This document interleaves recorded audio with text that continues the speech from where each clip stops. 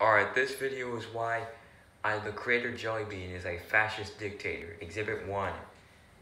And she has a freaking army. Me. Exactly like what what Mr. Crazy Mustache did in World War II, where he started a group, started a personality cult thingy, and pretty much took over Germany. Exhibit 2. She's the color purple. Purple is a is a freaking fascist commune whatever color. Exhibit three. E. She plays Minecraft, and everyone knows Minecraft is the most evil and fascist game in the entire existence of the internet. Number three, she hates It's SpongeBob.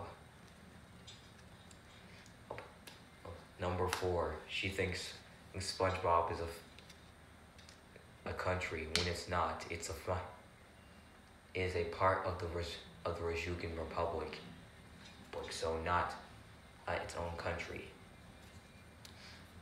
And also, I just think she is.